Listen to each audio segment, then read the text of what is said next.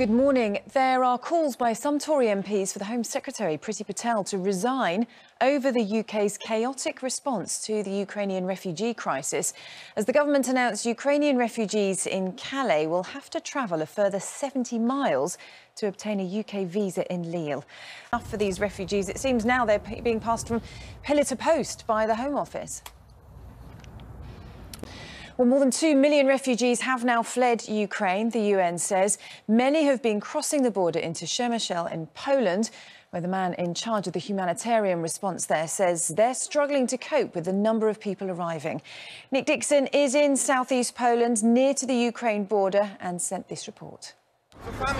Also this morning, Starbucks, Pepsi, Pepsi and Coca yeah, this is very welcome news. About time too, I've featured in some of those scam adverts. Susanna, I know you have as well. People always get in touch saying, is this true about this diet you're recommending or this Bitcoin investment? And it has been so frustrating. Mm.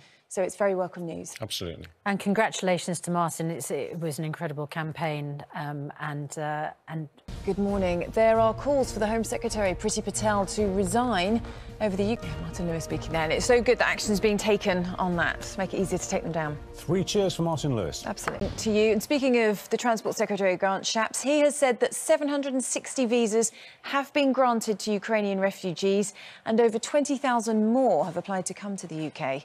However, well, more than 2 million refugees have now fled Ukraine, the UN says. Many have been crossing the border into Poland, where the man in charge of the humanitarian response there says they're struggling to cope with the number of people arriving. Nick Dixon was in southeast Poland, near to the Ukraine border, and sent this report. Also this morning, the company that runs Pizza Hut and KF just undiscovered shipwrecks. And I've been reading the mission leader said it was a jaw-dropping moment when that underwater camera showed the shot of the nameplate and they realised what ship it's it was. It's a real Titanic moment, isn't it? It is, 107 years. And they said it's remarkably preserved. It looks amazing. The timbers are there, it's upright, just, you know. Are they planning to, are they planning to raise it? To I don't, they can't disturb it because it's a designated...